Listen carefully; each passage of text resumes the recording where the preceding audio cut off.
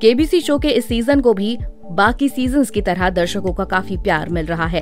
अब तक शो के हॉट सीट पर काफ़ी सारे कंटेस्टेंट लाखों रुपए जीतकर अपने घर ले जा चुके हैं। हालाँकि अभी तक कोई कंटेस्टेंट लाख से ऊपर की राशि जीतने में नाकाम रहा है।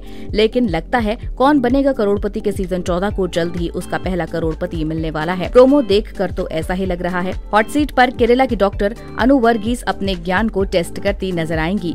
प्रोमो में भी दिखाया गया था कि केरल के थिरूसर से आई डॉक्टर अनु वर्गीज ने पचहत्तर लाख का पड़ाव पार कर लिया था। अनु एक करोड़ के सवाल तक पहुँची ज़रूर, लेकिन उस सवाल का गलत जवाब दिया। नियम के मुताबिक अनु पचहत्तर लाख की राशि के साथ घर वापस गई एक करोड़ रुपए का सवाल।